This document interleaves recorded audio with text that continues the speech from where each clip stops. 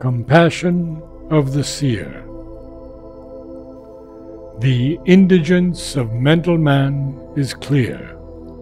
He has reached the summit, now locked in a tower, unable as yet to see the light or hear the enlightened voice of the enlightened power, unless he leaps above the realm of thought, and in the silence of the mind attend to the word that seekers of the truth have sought.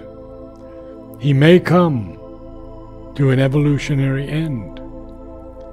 For now the gods have come on earth to man, seeking to uplift his soul and bring him near to divinity, since human time began, through the sacrifice and compassion of the seer.